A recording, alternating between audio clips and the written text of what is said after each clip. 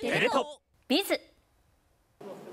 東京都は冬の新型コロナウイルスとインフルエンザの同時流行に備えて東京駅の地下通路にある大規模接種会場などで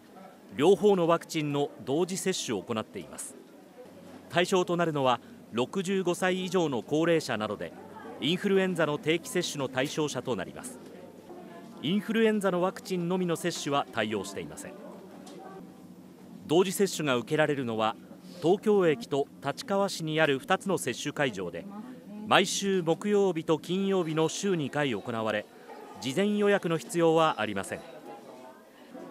2023年1月末まで行われる予定です。